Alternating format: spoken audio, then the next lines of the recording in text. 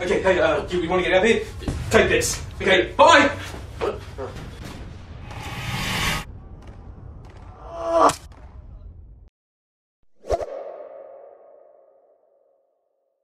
Wow, that was some of the best animation I've ever seen in my life. Okay, Kingsglaive, Final Fantasy 15, the tie-in movie for the upcoming Final Fantasy game. It's alright. It's an alright movie with absolutely amazing CGI animation. I cannot stress that enough. But in terms of the story department, it does flounder a bit, and that ultimately brings it down. Now, that isn't to say there aren't any good things in the story. Its theme of political intrigue and social discourse via a refugee crisis and what can easily be described as the techno-magical answer to World War II, that's, that's actually shockingly intelligent and rather clever.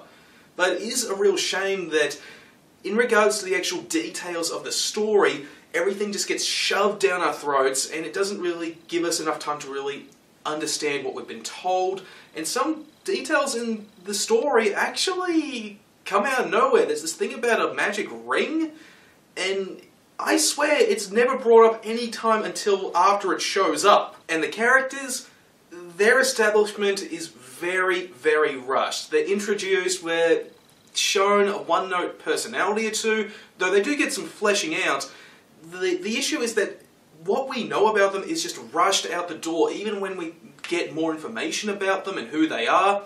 And because of that, it really undermines any emotional depth. There's a scene where a character dies and her kinda brother in arms sees her dead and we're supposed to feel sorry for her, but we really didn't see much of her outside of a friggin' awesome fight scene at the beginning of the movie. And it just comes off as, well, weak. Something that isn't helped by that there are some jarring scene transitions. I mean, one scene will play out, it has an established tone and style to it, like this one elegant scene at a celebratory event, and then the next scene, all of a sudden, it's just about, about a bunch of refugees who are planning to rebel, meeting out in an abandoned video game arcade, and it's all grungy, and it's such a glaring contrast to what came before. But thankfully, the voice cast is fan freaking tastic, at least with the main characters. They actually got some decent A-listers like Aaron Paul and Sean Bean to play a character called King Regis. And funnily enough, his character dies. I mean, it's Sean Bean. His character was going to die anyway. But aside from some great casting choices for the main English cast, the secondary characters, you know, the characters that don't get named or are just in the background, their voice actors are substantially less talented. And when you do notice how they talk, it kind of sticks out like a sore thumb. They really could have done better with actors providing voices for the background characters. Just saying. Now, you probably noticed I haven't said much about the story outside of, well, some general criticisms of it. See, that's because this is set in, again, a Final Fantasy world. This is a tie-in for Final Fantasy 15, the upcoming game, and, okay, being interested in not only Final Fantasy 15, but Final Fantasy as a franchise is kind of a prerequisite to getting into this movie. Now, I'm a, I've been a fan of Final Fantasy since I played the 10th game, but even I was kind of nodding off a bit in some scenes.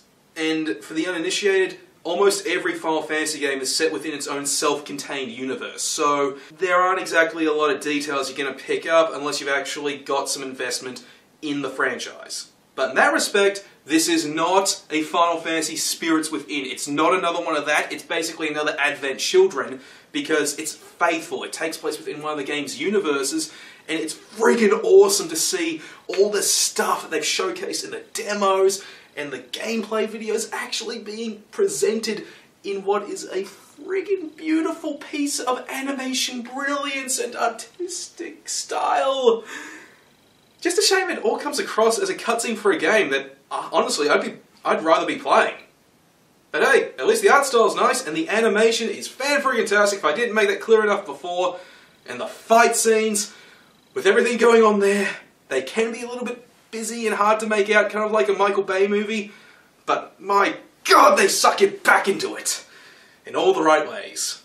Right after the excitement's died down, Kingsglaive, Final Fantasy 15, it's alright.